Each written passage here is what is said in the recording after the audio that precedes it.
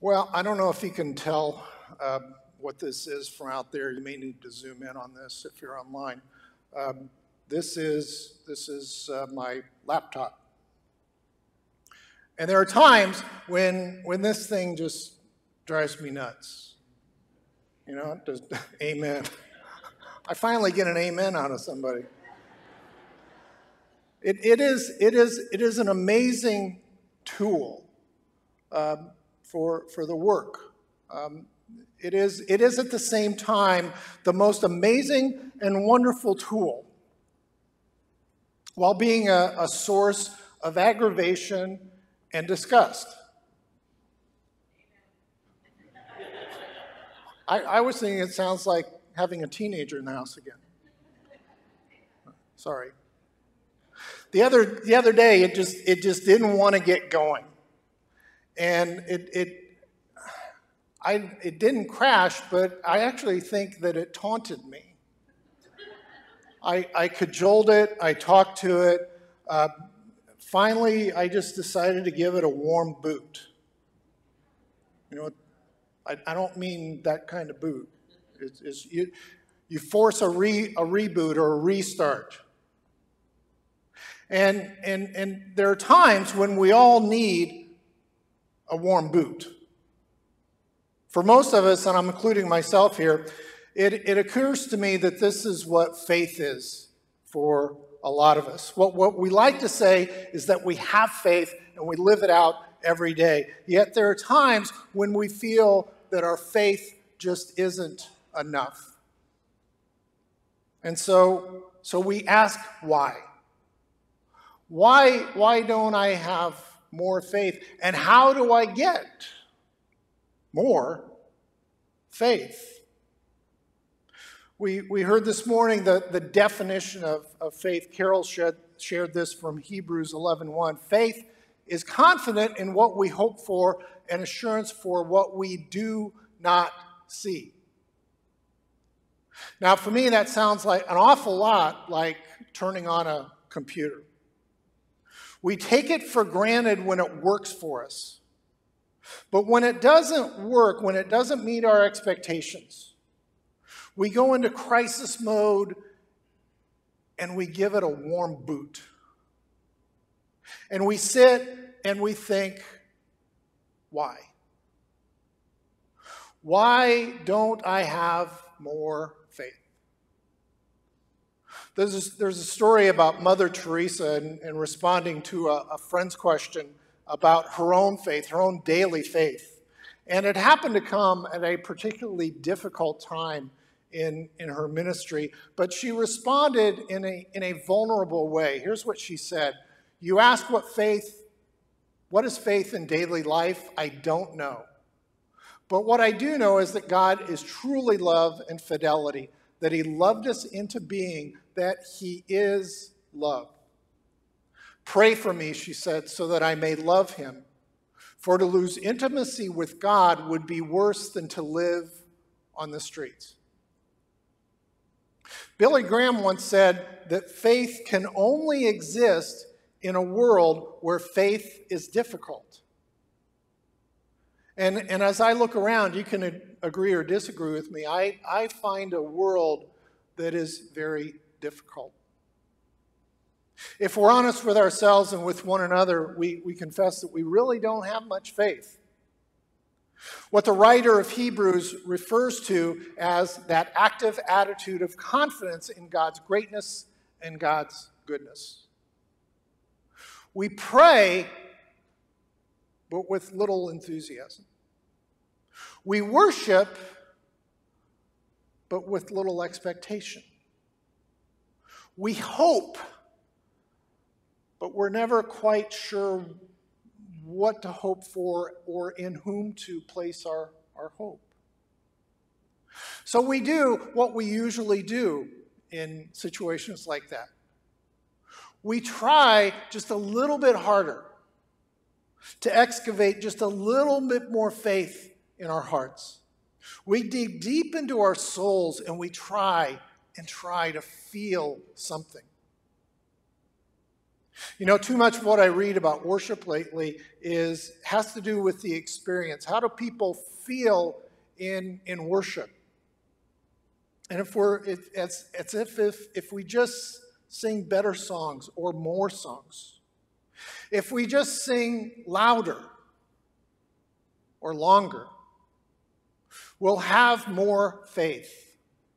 And, and when, when that doesn't work, we end up kicking ourselves and calling ourselves spiritual failures.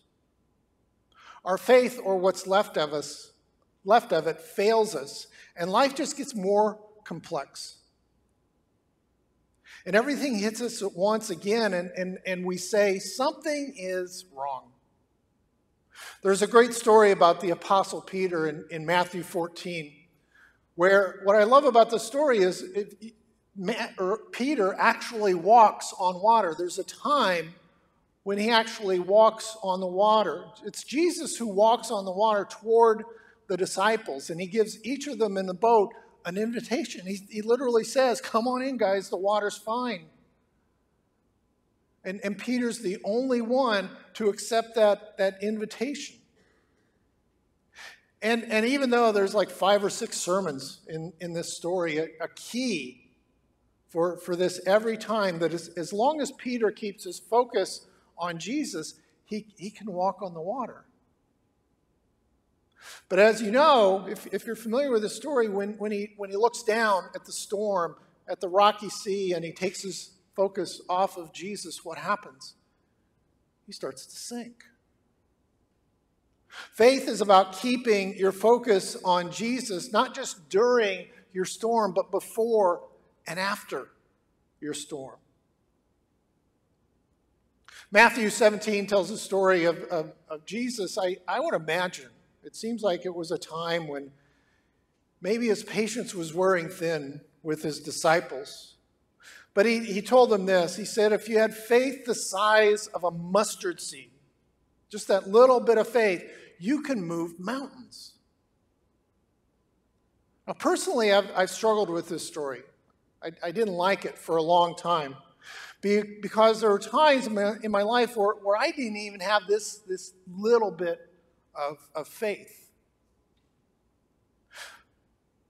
But I remember last week, I remember when my friend said this, and I, and I wrote it down and I kept it in my journal. My friend Rob, when he, when he said, If you're struggling with doubt, it means that you're taking your faith seriously.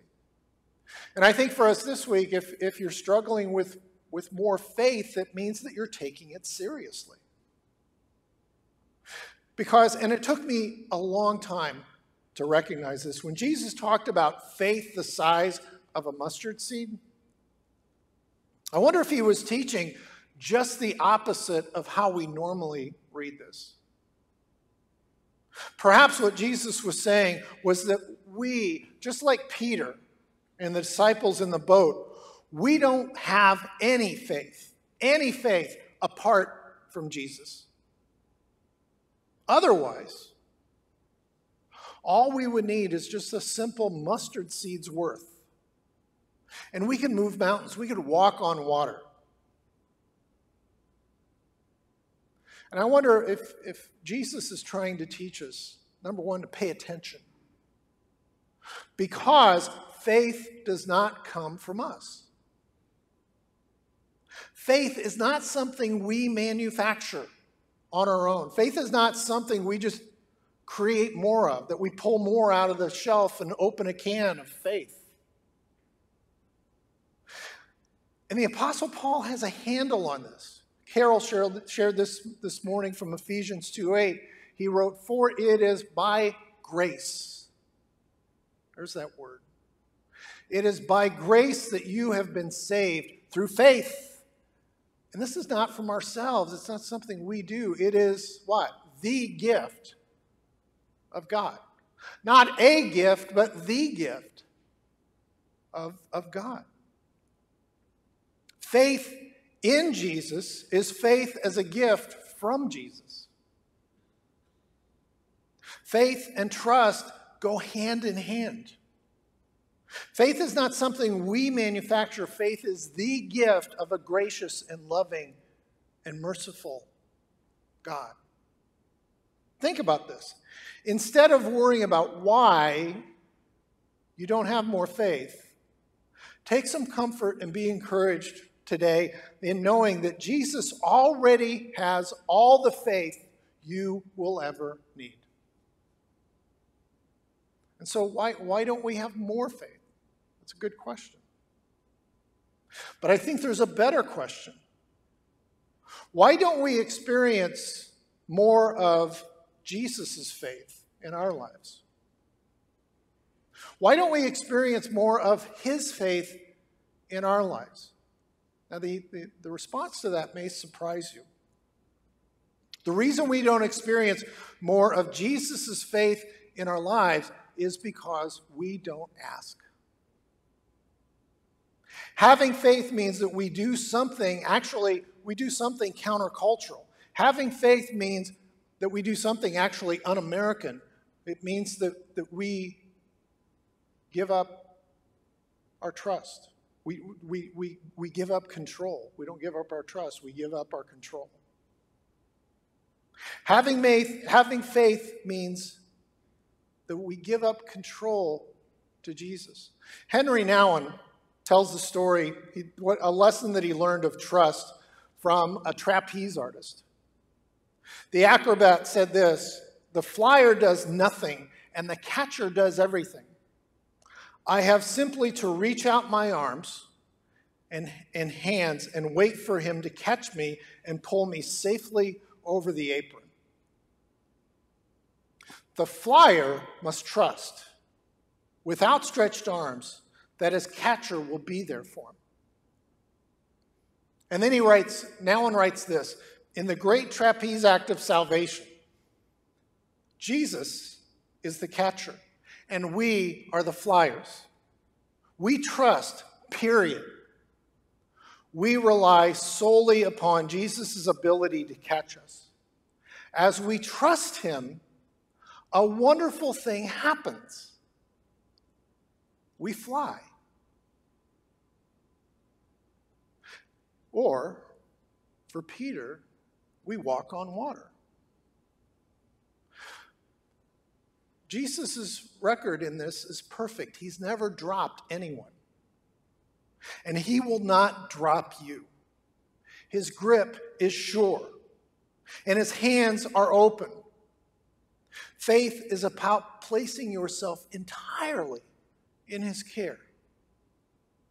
So instead of feeling like faith losers, and instead of trying just a little bit harder to have more faith, I invite you to come to Jesus today and every day and ask Him to fill you with His faith. And just like Peter and Mother Teresa, we find that we are able to face the storms faithfully after all.